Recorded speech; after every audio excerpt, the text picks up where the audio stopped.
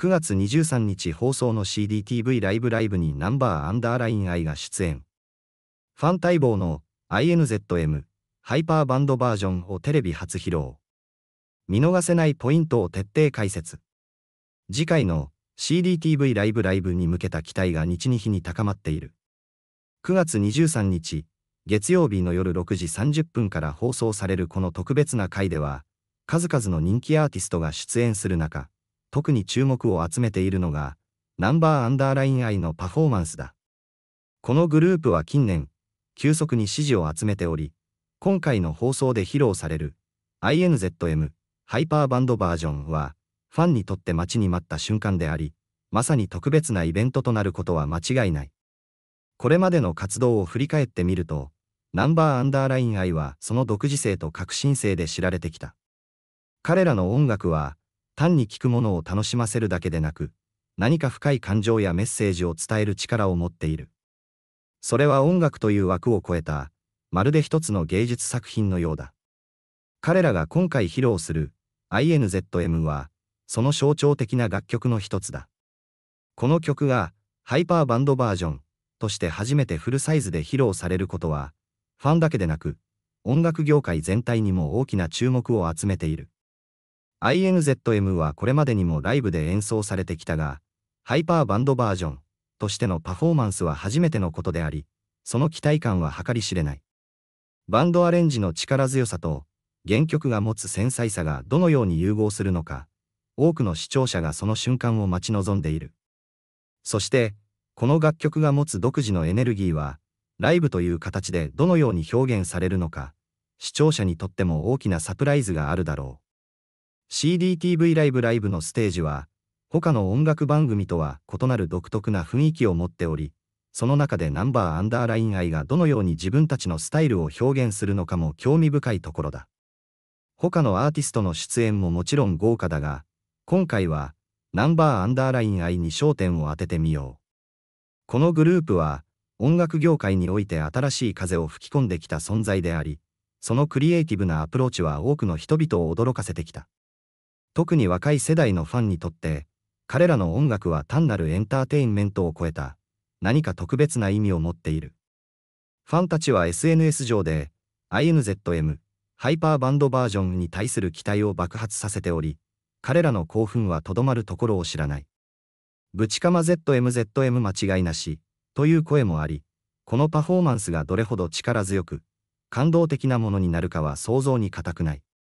また、今回の INZM、ハイパーバンドバージョンの披露に際して、ファンの間では様々な憶測や期待が飛び交っている。なぜバンドアレンジが選ばれたのか。どのような新しい要素が加わるのか。そして、それがどのように視聴者に伝わるのか。これらの問いは、放送日が近づくにつれてさらに高まっていく。この期待感は、アーティストにとっても一つの挑戦であり、ファンとの新たなコミュニケーションの形となるだろう。音楽は常に進化し続けており、その瞬間ごとに新しい意味や価値が生まれる。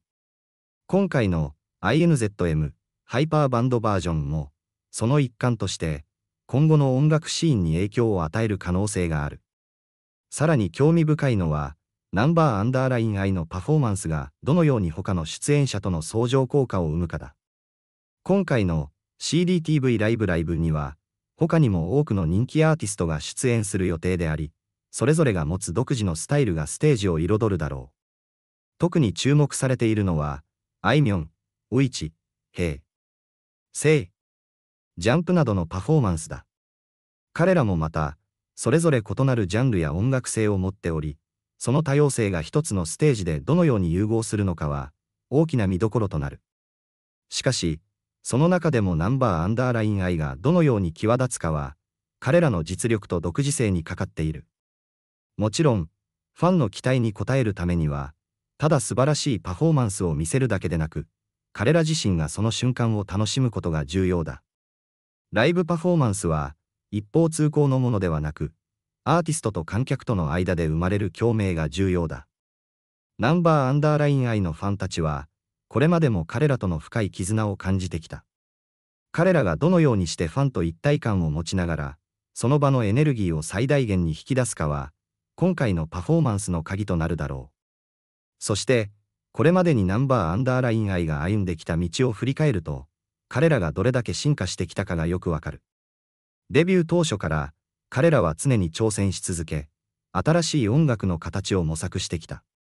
はじめはそのスタイルが理解されにくいこともあったが、徐々に多くの人々に受け入れられ、今やその存在感は音楽シーンにおいて欠かせないものとなっている。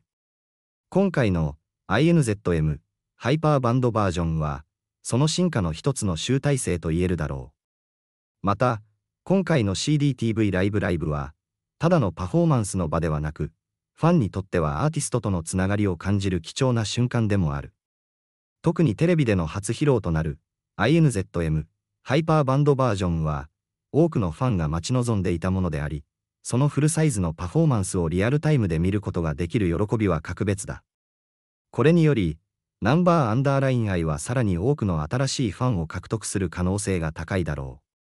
う。音楽は人と人をつなぐ力を持っており、今回の放送がその一助となることは間違いない。それに加えて、ナンバーアンダーライン愛がこれからどのような道を歩んでいくのかも興味深い。今回の INZM ハイパーバンドバージョンは彼らのキャリアにおける一つの大きな節目であり、今後の方向性を示唆するものかもしれない。音楽業界は常に変化し続けており、その中でアーティストがどう自分たちの個性を保ちながら進化し続けるかは大きな課題だ。ナンバーアンダーライン愛は、その挑戦に対して常に前向きであり、今回のパフォーマンスもその一例だろう。また、他のアーティストとのコラボレーションや、新しい楽曲のリリースにも期待が高まっている。ナンバーアンダーライン愛の音楽は、ジャンルやスタイルにとらわれない自由な発想が特徴であり、それが多くのファンに愛される理由だ。